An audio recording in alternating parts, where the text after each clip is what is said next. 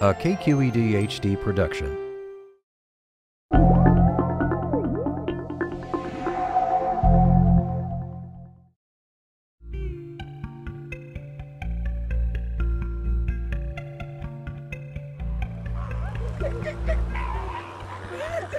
Every living organism, great and small, is made of cells. They grow and assemble into tissues specialized to carry out vital tasks, such as pumping blood. For centuries, scientists have invented tools to shed light on the hidden mysteries of the cell. And now, Carolyn Larabell is adding a new dimension to our understanding of this biological building block.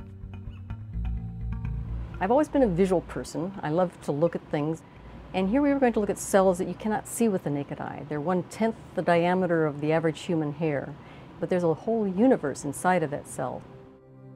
Like tiny factories, each cell has key parts to help it run.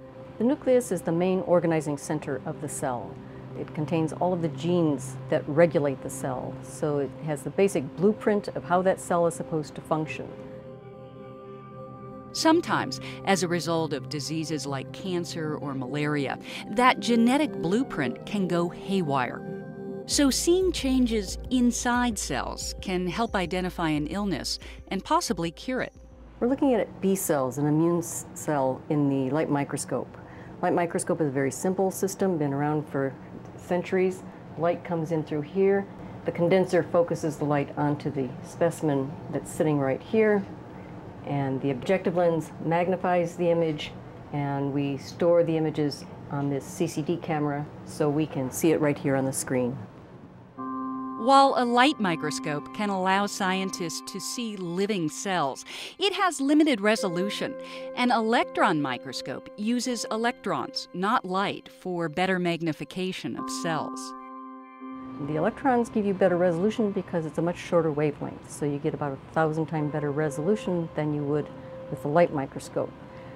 The limitation of it is that it has very limited penetration power. So this material that you're looking at has to be very thin. Since a whole cell would be too thick to image, it is typically cut into thin slices and then stained with heavy metals to boost the contrast. Still, only a fraction of the stained cell can be seen at a time. One of the big black boxes that remains in cell biology is the organization of the nucleus.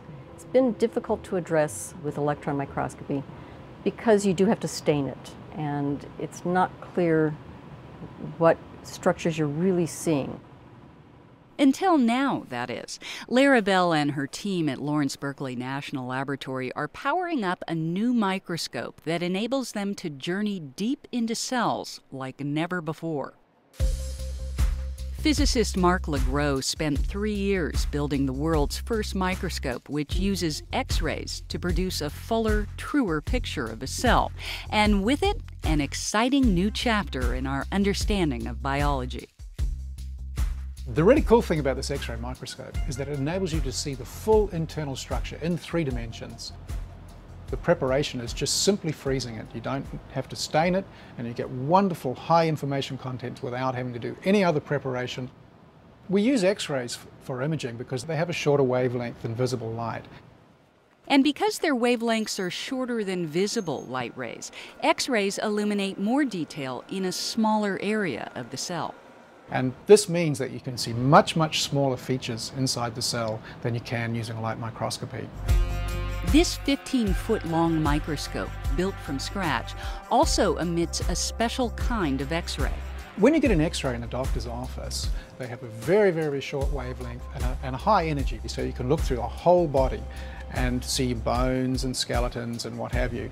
Now, we're looking at a cell which is thousands and thousands of times smaller than, than a whole body.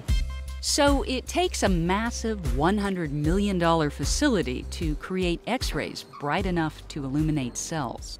We're at the Advanced Light Source Synchrotron in Berkeley, California. This one happens to be the brightest source of low-energy X-rays in the world. So the synchrotron consists of a large circular ring in which electrons are stored and, and, accelerated to very high energy. And as the electrons go whizzing around the storage ring, they're deflected and bent by magnets. And every time they're bent, they emit X-rays. The X rays are then shuttled along a beamline directly into the microscope. A tiny sample of cells is placed under ultra thin lenses. Images are generated by a camera, which detects how X rays are absorbed by the carbon and nitrogen in cells. We might take 360 projection images all at a one degree angle, so that's the whole way around of the cell, put it into a computer, and then somewhere between five and 10 minutes later, we can have a full three-dimensional reconstruction of what the internal structure of the cell looks like. What can take weeks to a month to image a cell in the electron microscope, we can now do in a matter of minutes. And the first time I looked at the nucleus in the native state and watched all the different organization of those genes in that nucleus, I'm not joking, I sat and stared at it for hours. This rapid technique is similar to a medical CAT scan, but here the scanning is of cells, not organs. We have powerful computer programs that allow us to take each one of these individual two-dimensional slices through the cell and reconstruct the 3D volume of each structure in the cell. So what you see here are the tubular mitochondria. Mitochondria make energy for the cell. Traditional electron microscopes have revealed only a two dimensional view of them. I had no idea that mitochondria could be that long and interconnected in the cell. I had no idea they wrapped around the nucleus as much as they do. We're getting new information about the nucleus. That means we may have to rewrite textbooks on how the nucleus is organized.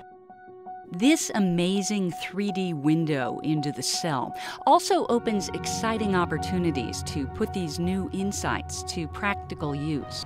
We know that in cancer, certain genes that should have been turned off have been turned on inappropriately.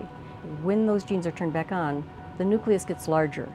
Our hope is that we can find some of the changes that occur in the nucleus that are responsible for it becoming larger earlier because we're getting that three-dimensional view of the cell.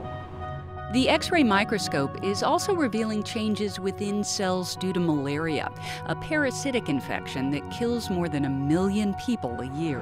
What you can see here is the parasite inside of the red blood cell. You can see how it's made this large bulge. The parasite's getting larger, reproducing, making a number of small parasites. We've looked at 600 malaria-infected red blood cells, and we now have a much better understanding of how this infectious process occurs.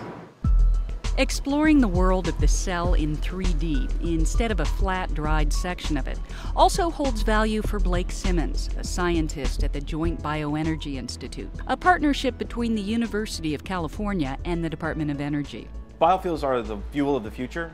Uh, they are derived from renewable sources, unlike oil and gas. At the Joint Bioenergy Institute, we're really focused on building biofuels from the conversion of switchgrass, miscanthus, pine, and cornstover. These non food plants are converted to fuel by fermenting the sugars inside of them into a cleaner alternative to oil. But making biofuels is no easy feat. Plants are not designed to fall apart at the whim of humanity. They are designed to exist in nature and be very robust and very hard to break down. So the real trick here is how can we get access to those sugars because the sugars are the driving force for all biofuel production. Chemical solvents help free up the sugars bound by the rigid cell walls of plants like switchgrass. And now, the scientists can enlist the X ray microscope to reveal the structural effects of this chemical treatment. Here you've got the intact cell walls of switchgrass before any treatment has occurred, and then the broken down plant material that we can efficiently extract the sugars from and then produce biofuels. And using this X-ray microscope, for the first time, we can really get a three-dimensional objective of how the plants are being broken down in these different environments. We can very quickly identify the strongest links or the weakest links in the plant cell wall and then engineer the plants so that they will be even more efficient at breaking down in these complex environments. As powerful as this tool is, it can't capture real-time movement or changes in cells. The main limitation of the X-ray microscope is that you can't look at dynamics. Those cells are frozen and that it's required to hold all of the structures inside of the cell perfectly still as you're imaging. Even so, this mighty microscope is illuminating a brighter, larger vision of the tiniest unit of life, and with it, a clearer path for inspiration and discovery. What I would like to see is that the X-ray microscope would become a universal tool in many labs. I think it has tremendous potential for answering basic biology questions, diagnostics, and perhaps solving the energy problem.